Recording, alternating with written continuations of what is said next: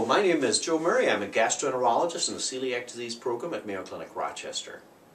And with me today I have My name is Jackie See. I'm a clinical dietitian, uh, nutritionist at Mayo Clinic. Great. Well, today we're going to talk about a, a topic that keeps on coming up. That's non-celiac gluten sensitivity. Well, a lot of people are now avoiding gluten. Um, of course, celiac disease, a previously much under-recognized disease, is a disorder that damages the intestine. It occurs to certain people who are genetically predisposed, who when they eat cereals, wheat, barley or rye, or foods that contain the protein that's called gluten from these cereals, uh, can cause damage in the intestine. It can result in lots of different symptoms, digestive symptoms, even non-digestive symptoms such as fatigue and headache are quite common. But apart from that condition, there are a lot of people who have been avoiding gluten. Some are doing that because they themselves have tried it, and some are doing it for other reasons. And Jackie, in your practice, you see a lot of people who've gone on a gluten-free diet. Do you want to tell us a little bit about what are the different reasons people tell you that they've done that? Um, yes, there's a lot of interest in gluten-free diets. Um, uh, some people go gluten-free to try to Mhm. lose weight. Some think it's a healthier diet. Some do it to increase their athletic performance or increase um, energy. hmm And is there much evidence for any of these benefits or supposed benefits for a gluten-free diet? Well, um, if you, uh, as far as weight loss, if you cut out all sources of gluten, such as brownies, cookies, pasta, pizza, sandwiches, uh, you're bound to lose weight because you're reducing your calorie intake. But uh, the gluten-free versions of these foods have just as many calories, and sometimes they have more calories because it takes more fat and sugar to um, make them palatable. So there might be uh, indirect benefits from going gluten-free, but not necessarily because avoiding the gluten. Right, there's really Okay. nothing in gluten that will cause weight loss. Okay. Um, now, with non-celiac gluten sensitivity, there has been some work suggesting that in a few patients that there can be an immune response to gluten or to the wheat products or wheats them, wheat, themse- wheat itself that is not technically celiac disease.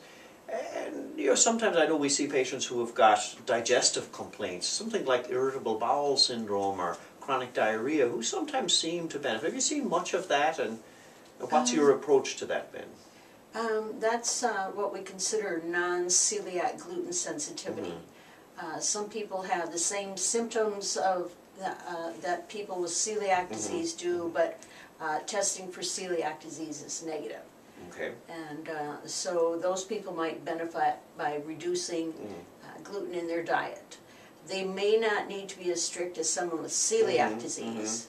If you have celiac disease and eat gluten, it damages it, the lining of your intestine and it can have long-term consequences. So uh, let's say I'm somebody, and I, maybe I've got some digestive complaints, and I hear about gluten maybe being an issue. Is there anything wrong with me going gluten-free without perhaps talking to my doctor first or having any testing done?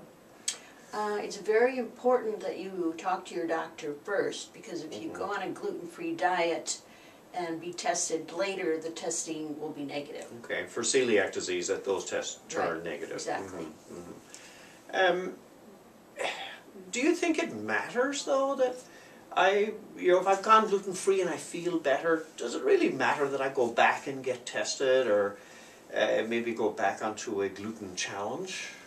Well, I think if, if it's important to know if you have celiac disease versus non-celiac gluten sensitivity because the management is different.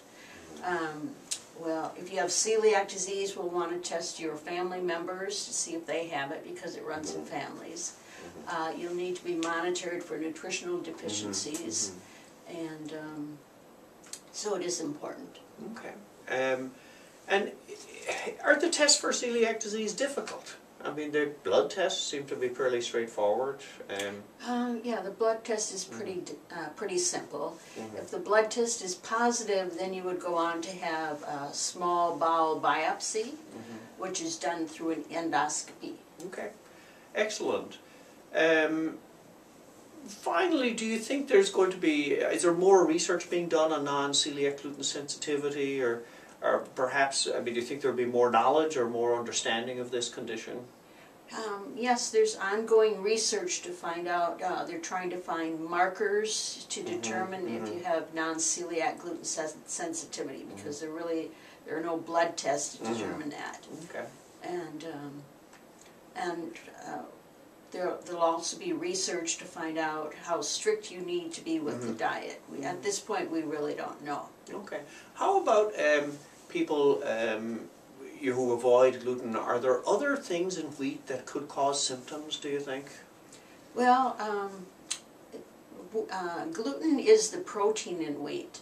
Uh, the carbohydrate in wheat is called fructan, and uh, fructan is not digestible by the human body, and that Mhm. can often cause gas and bloating. Mm. So, So they could found- produce the same yeah, symptoms. they're found in the same food, so it's hard to tell what Mm. the what the culprit Sure, sure. is.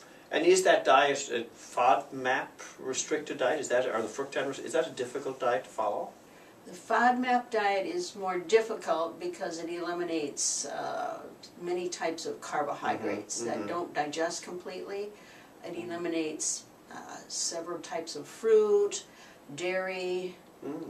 wheat, and so that one's much more difficult. But but it is a temporary diet. We want you to Mhm. try re- reintroducing these foods to see how many you tolerate. And and finally, are there things in a gluten-free diet that are, or is there something about a gluten-free diet that's that's less than ideal? I mean, are people who go on a gluten-free diet are there things they need to look out for or supplement, for example? Um, yes, some people think the gluten-free diet is healthier than the typical American Mhm. diet. In, in some ways it is because you eat less processed foods, but uh, there are a lot of things in whole grain, like in wheat. It's a good source of fiber, B vitamins, Mhm, iron.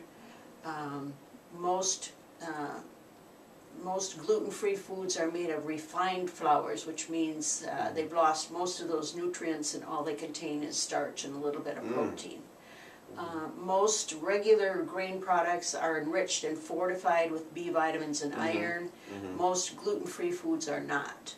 Okay. So there are definitely some, you know, disadvantages of going on the gluten-free diet. Well, excellent. Well, Jackie, thank you for um, for coming today, and um, uh, this conversation will be one that will likely continue uh, about non-celiac gluten sensitivity, or as some might term it, non-celiac gluten sen- or wheat sensitivity. Um, I think the most important points that we've discussed are if you have symptoms and if celiac disease is a possibility, be tested for celiac disease first. Exactly. Remember, the gluten-free diet is not the answer for everything, and certainly there's very little evidence that, that it shows that it, it causes in itself weight loss or enhances athletic performance. People probably would learn more about nutrition if they were uh, in, in discover this, and maybe they'd eat less fast food, less junk food, perhaps that might help people. Um, and really, this will be an evolving area. But Jackie, thank you for, for coming today, and thank you for your attention. Thank you.